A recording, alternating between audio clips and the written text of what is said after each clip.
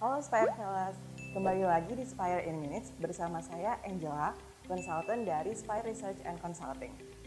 Nah, di video kali ini kita akan membahas lebih lanjut mengenai tren digital tourism yang ada di Indonesia.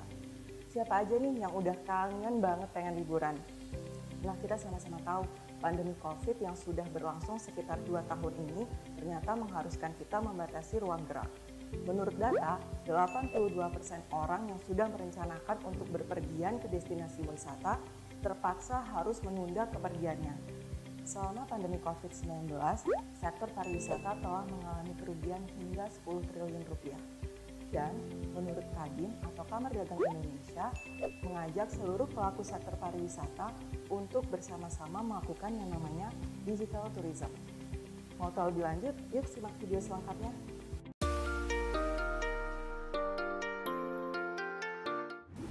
Nah, sebenarnya apa sih digital tourism itu?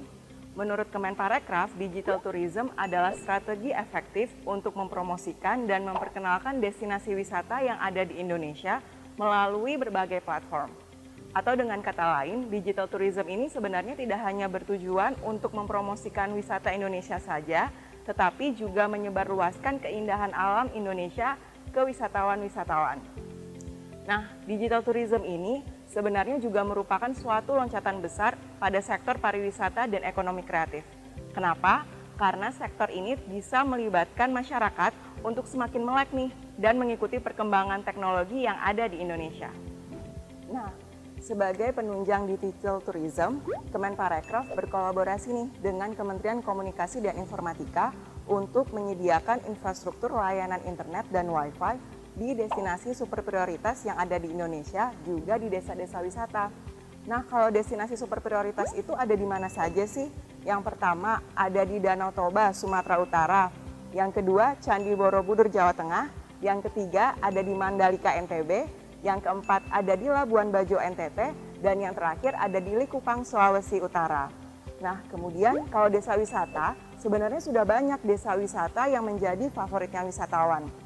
Seperti ada di Bali, Desa Pengipuran dan Desa Pemuperan, dan juga ada Desa Ngelanggeran, Yogyakarta, dan Desa Taman Sari di Banyuwangi. Kalau kita ngomongin digital tourism, sebenarnya erat banget nih sama yang namanya wisata virtual atau virtual tour. Saat ini sebenarnya sudah banyak penyedia platform virtual tour di Indonesia, termasuk yang disediakan oleh Kemenparekraf yang berkolaborasi dengan Travel.co dan Kaventer dengan wisata virtual bertajuk Surga yang Tersembunyi. Di wisata virtual ini, Kemenparekraf menyediakan 10 desa wisata beserta keindahannya.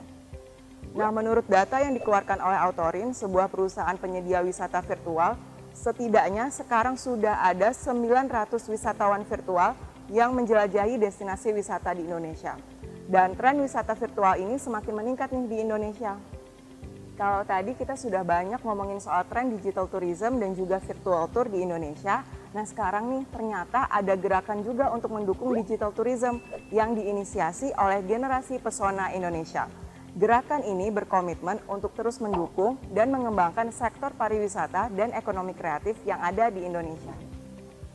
Kalau di Indonesia, daerah mana saja sih yang sudah menerapkan digital tourism? Ternyata ada salah satu daerah yang sudah menerapkan digital tourism, yaitu daerah Banyuwangi. Nah, siapa nih yang udah pernah ke Banyuwangi?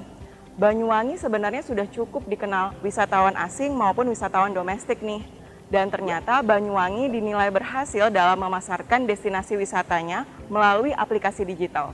Ada aplikasi yang namanya Banyuwangi in Your Hand, di mana wisatawan dapat melacak destinasi wisata yang ada di Banyuwangi. Selain itu, ada juga banyuwangimall.com, di mana ini merupakan marketplace untuk pengusaha mikro memasarkan produk-produknya ke pasar global. Selain itu pula ada banyuwangitourism.com, di mana ini merupakan penyedia wisata virtual untuk destinasi wisata yang ada di Banyuwangi seperti Kawah Ijen dan juga Pulau Merah. Selain Banyuwangi, ada juga daerah lain yaitu di Garut. Kalau di Garut, penerapan digital tourismnya lebih dipusatkan kepada pembayaran secara cashless di destinasi wisata, kemudian pembelian tiket secara online, dan juga penyediaan jasa internet di destinasi wisata yang ada di Kabupaten Garut. Itu tadi tren digital tourism yang ada di Indonesia. Nah, pasti pada semakin kangen buat liburan kan? Tapi kita sama-sama tahu nih, pandemi COVID-19 masih terus berlangsung hingga saat ini. Nah, oleh karena itu kita masih harus membatasi ruang gerak kita.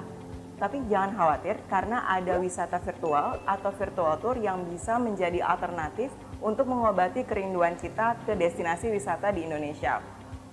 Dengan mengikuti virtual tour, kita sebenarnya sudah berperan untuk terus menjaga eksistensi dari sektor pariwisata yang ada di Indonesia. Nah, untuk yang masih penasaran dan ingin tahu lebih lanjut tentang potensi digital tourism yang ada di Indonesia, bisa klik link di bawah ini. Jangan lupa untuk like, share, dan subscribe video kali ini ya. Sampai jumpa di Spire in Minutes berikutnya.